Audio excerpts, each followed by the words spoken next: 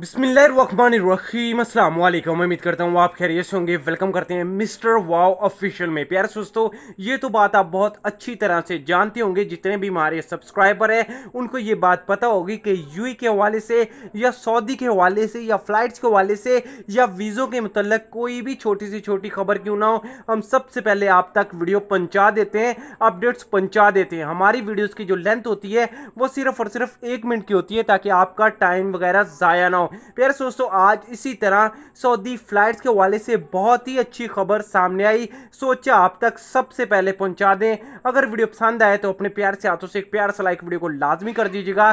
Channel پہ first time ہے تو چینل کو سبسکرائب کرنا مت بھولیے گا اور ساتھ میں بیل آئیکن کو بھی لازمی دبانا ہے تاکہ ہر ویڈیو کا جو نوٹیفکیشن ہوتا ہے وہ سب سے پہلے آپ تک پہنچ جائے۔